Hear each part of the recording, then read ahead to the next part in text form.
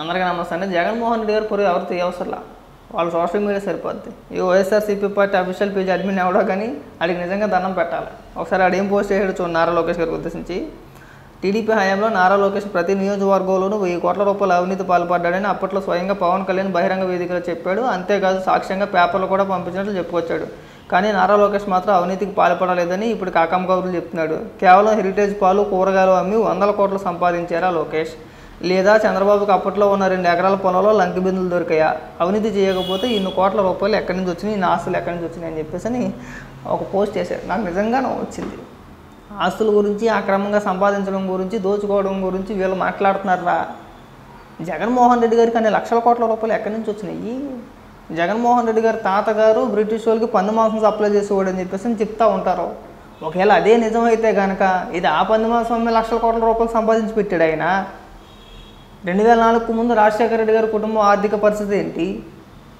ఇప్పుడు ఎంత అమ్ముతానని చెప్తూ ఏదో డబ్బులు ఆర్థిక పరంగా ఇబ్బంది వీళ్ళు అమ్ముకుంటారని చెప్పేసి ఒక వార్త వచ్చింది మరి అది నిజమో కాదు తెలియదు కానీ ఆ తర్వాత రాజశేఖర రెడ్డి గారు ముఖ్యమంత్రి అయిన తర్వాత జగన్మోహన్ రెడ్డి గారు ఐదేళ్ళలో లక్షల కోట్లు ఎలా సంపాదించేశాడు? అరవై ఏడు సూట్ కేసు కంపెనీలు పెట్టి లక్ష కోట్లు ఎలా సంపాదించాడయ్యా? నలభై మూడు వేల కోట్ల రూపాయలు చే- దోచేశాడని చెప్పేసి పదహారు నెలలు జైల్లో చెప్పుకొడుతున్నాడు జగన్మోహన్ రెడ్డి. మీరు మాట్లాడుతుంటే ఒక్కొక్క నువ్వే వస్తుంది నిజంగా కూడా. పోని ఒకవేళ నారా లోకేష్ నిజంగా అవినీతి చేశాడని చెప్పినా అనుకుందాం. మీరు అధికారంలో ఉండి గడ్డి పీకుతున్నారా? అధికారం మీకు దేనికయ్యా ఇంకా? కొన్ని నిజంగా అవినీతి చేస్తుంటే కనుక ఏదో కేసు పెట్టి నిరూపించి లోపలెత్తే అయిపోద్ది కదా. ఎందుకు వెళ్ళిపోతున్నారు అంటే మీకు చేత కావట్లేదా? మీరు మాట్లాడుతుంటే అది పెద్ద జోక్ అది. అవినీతి గురించి మీరు మాట్లాడుతుంటే నిజంగా పెద్ద జోకు. ఇప్పుడు చంద్రబాబు నాయుడు కూడా ప్రతి సంవత్సరం కూడా వాళ్ళ ఆస్తుల వివరాలన్నీ కూడా మీడియా ముందు చెప్తారయ్యా. మాకు ఇన్ని కోట్ల రూపాయల ఆస్తులు ఉన్నాయని చెప్పేసి అని. జగన్మోహన్ రెడ్డి గారి కుటుంబం కానీ లేదంటే జగన్మోహన్ రెడ్డి గారు కానీ అలా వచ్చి మీడియా ముందు కూర్చొని నీట్గా వివరంగా చెప్పగలరా? ఇగో నా ఆస్తుల వివరాలు ఇవి. నాకు ఇన్ని లక్షల కోట్ల రూపాయలు ఉన్నాయనో లేదంటే ఇన్ని వందల కోట్ల రూపాయల ఆస్తులు ఉన్నాయని చెప్పేసి అని జగన్మోహన్ రెడ్డి చెప్పగలరా? చెప్పగలరా? చెప్పలేడు. మరి జగన్మోహన్ రెడ్డి గారికి అన్ని లక్షల కోట్ల రూపాయలు ఎక్కడి నుంచి వచ్చినాయ్యా ఎక్కడి నుంచి వచ్చినాయి? అంటే ముప్పై ఎనిమిది సి ఈడీ సిబిఐ కేసులు ముప్పై ఎనిమిది కేసులు మీద పెట్టుకొని దేశంలోనే అతిపెద్ద అవినీతి పరుడు జగన్మోహన్ రెడ్డి. అని నేను చెప్పేది కాదు. దేశం మొత్తానికి తెలిసే విషయం. అని మీరు మాట్లాడుతుంటే నిజంగా కొంత నవ్వే అవుతుంది మాకు. కొన్ని అధికారంలో ఉండి చంద్రబాబు నాయుడు గారి పైన అనేక ఆరోపణలు చేశారు. నారా లోకేష్ గారి పైన చేశారు. జగన్మోహన్ రెడ్డి గారు అయితే ఏకంగా పుస్తకం వేయించాడు.